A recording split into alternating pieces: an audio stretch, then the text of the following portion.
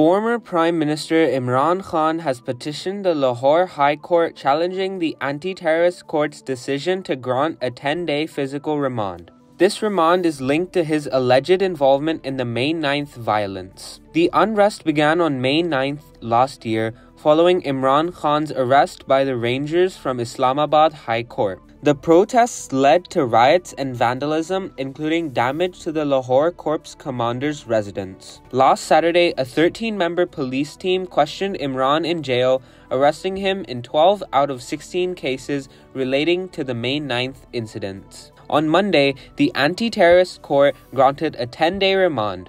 Imran's lawyer argued that the remand was illegal, claiming the court misread the law and failed to produce Imran before the court. Additionally, Imran has filed against the notification for his video link, calling it illegal. Meanwhile, Business Monitor International reported that Imran Khan is expected to remain in prison despite any successful appeals.